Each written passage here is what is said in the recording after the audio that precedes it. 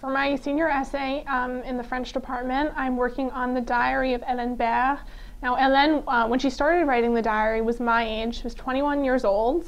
Um, she started writing a diary uh, in 1942. She was um, a young girl who was studying English literature at the Sorbonne.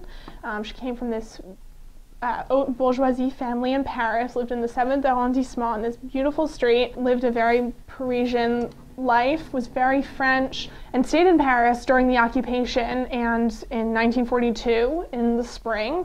Um, I guess compelled by the events that she was experiencing or that she was witnessing around her. I think in 1942 she was still living pretty comfortably at home uh, with her parents and with some of her siblings, um, but she start, felt compelled to start writing about her life and what she was experiencing and she kept the diary until um, 1944, just a few weeks before her arrest um, and her deportation with her parents. And I'm working on this diary as a piece of literature, um, and among many things, studying how her writing evolves over the course of these two years. When she starts in 1942, she's still very much a Parisian living her daily life in, in Paris, and by the time she ends in 1944, you can really see how the events around her, the deportations, the horror stories, um, her scare stories, have taken a toll on her, um, and it becomes a much more serious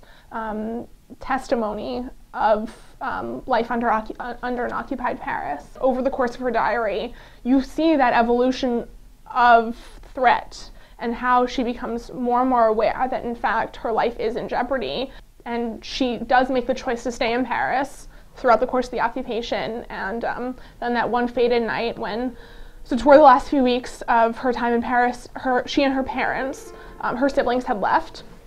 She and her parents were in hiding at different friends and families' houses. Um, and uh, one night they decide to go back to their apartment in the 7th arrondissement. And that night the police come and arrest them